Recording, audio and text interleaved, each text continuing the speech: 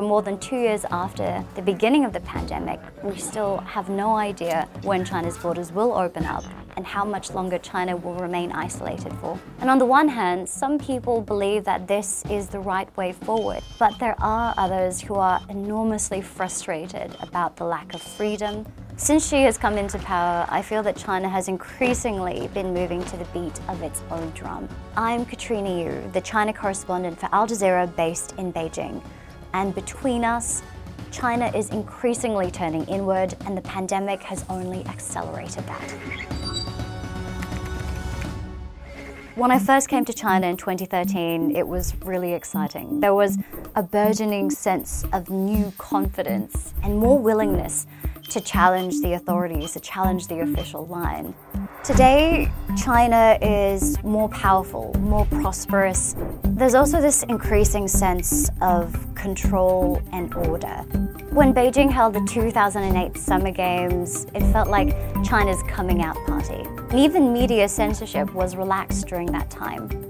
In 2022, it's different. The sense is that China has arrived and it doesn't have much to prove except that it can hold a successful Winter Olympics despite the enormous challenge of the coronavirus.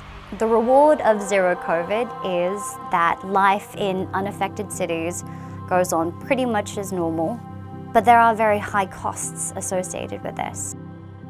There is a constant risk of being put under lockdown if you are in an area where there is a coronavirus infection.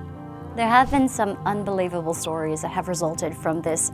There was a woman who was eight months pregnant begging to be seen at a hospital waiting outside the entrance, but they didn't allow her to enter because her COVID-19 test had expired. And in the end, because of that, she lost her unborn child during the early days of the outbreak in Wuhan. We were in contact with some residents. After the lockdown ended, we returned to Wuhan a number of times to see how things have changed. The city is keen to shake off this reputation of being the origin of the pandemic. The virus originated in Wuhan, but Wuhan people didn't create it. I hope they don't keep a bias against us. People didn't like this idea that they were being blamed for an outbreak that eventually spread to millions of people outside of China.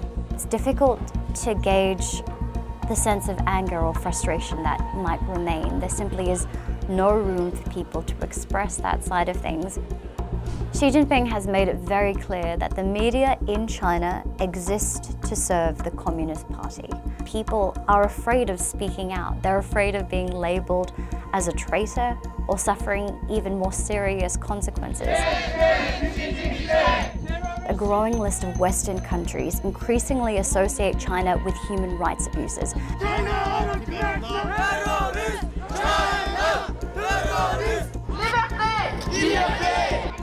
particularly against the Uyghur people in the Xinjiang region.